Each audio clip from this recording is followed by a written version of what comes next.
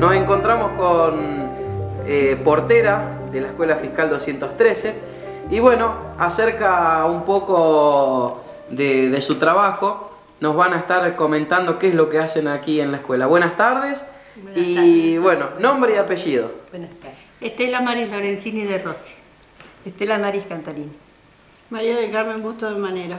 Bueno chicas, cuéntenme cuánto hace que trabajan acá en la escuela.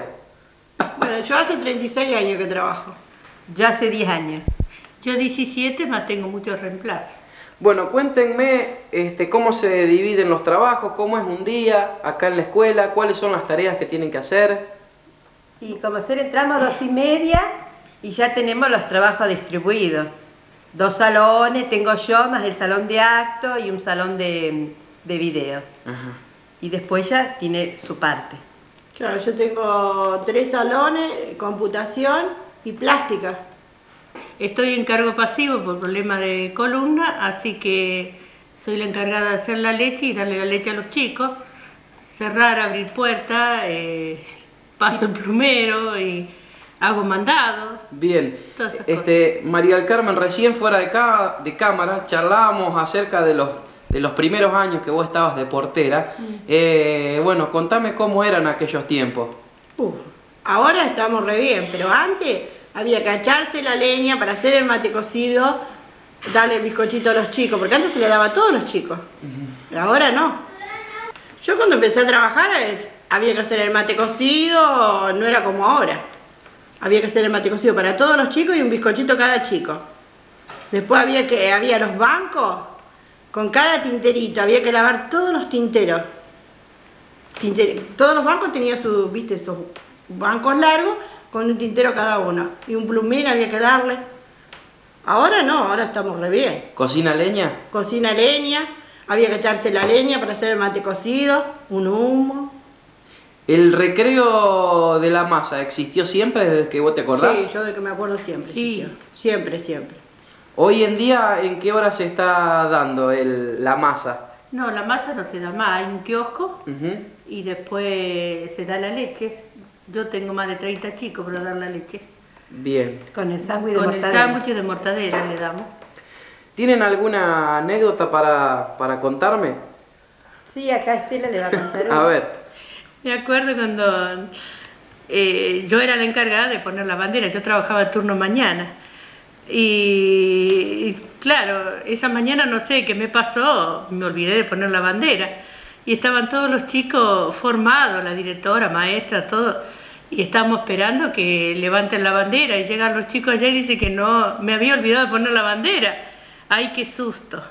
Pegué media vuelta, fui a poner la bandera, me acuerdo en ese tiempo, qué manera de reírnos. Me pegué un susto tan grande porque, viste, Eh, me había olvidado de poner la bandera. Eh, ¿A qué juegan los chicos hoy? ¿Se divierten, se divierten como muchos años atrás en los recreos? ¿Hacen travesuras? ¿A qué, ¿A qué juegan? Y A todo, a todo. a todo. A todo. Hacen muchas travesuras, sí. Ahora no le tienen más miedo a la maestra. Ahora ellos le hacen frente a la maestra. No tienen ese miedo que antes teníamos nosotros. Y si la maestra nos ve, nos reta. No, ellos no tienen miedo. Los reta la maestra todo, pero para ellos pasa como un reto más. Juegan a la bolita, al tejo. La ronda no existe más, la ronda que jugábamos Al nosotros. elástico, las nenas al elástico. Al elástico. Y los chicos sí, al fútbol. La Al pelota. fútbol, cuando pueden agarrar una pelota. La Bueno. campana se toca a veces cuando no tenemos corriente, entonces tocamos la campana. Está la campana. Y a la salida los chicos para ir a la bandera tocan los chicos la campana también. Cuando estamos por bajar la bandera. Bien. Uno de los chicos toca la campana. Bueno, yo la que recuerdo que quería mucho como maestra y muy buena compañera era Chiche Giovanetti. Cuando ella se jubiló lloré bastante. Sí, me dio mucha lástima Chiche. No, ¿Por yo acá? no, Yo, tenía a Marta Caliero, Susana Panero, Ana Ah, sí, Manacero, todas esas. Ana Eran Manacero. re buenas. Te ayudaban, cualquier cantidad. Precisaba un favor, enseguida te lo hacían. Ana Manacero, eh, Susana, eran palabras mayores, eran, Sí. qué sé yo, muy gauchas. Todavía ahora, Ana, si uno, qué sé yo, muy buena persona. Sí, No, yo, desde que entré yo, la única que se fue, que era la directora, este era Estelar Bayo. Ujú. Después las otras están todas. Si tuvieran que, que destacar o, o qué parte de la escuela les gusta más, ¿cuál me dirían? Yo en todo en general, Ajá. Todo en general, es un grupo muy bueno. Sí, a la tarde Estamos todas, qué sé yo, bien. Acá es una familia. contento. eh, Acá es una familia. Te contienen en lo malo y se alegran en lo bueno. Eh, hay de todo, viste, como en todos lados, pero qué sé yo, yo será que no tengo palabra para el personal de la escuela, para mis compañeras, palabra mayor. Los chicos, qué sé yo, te ven en la calle, te dicen chau seño, viste, y eso te hace bien. Y aparte de ustedes tres que les toca el, el turno tarde a la mañana, ¿a qué compañeras encontramos? A Nelly, Nelly Girardi, Margarita Sánchez, que fue mi compañera a la mañana, que después me iba a pasar a la tarde. no, para mí fue siempre Nelly compañera conmigo. Claro. Nelly Conmigo, Girardi fue Margarita. siempre mi compañera, nomás que después por eso se pasó a la mañana. Pero fue siempre mi, mi compañera.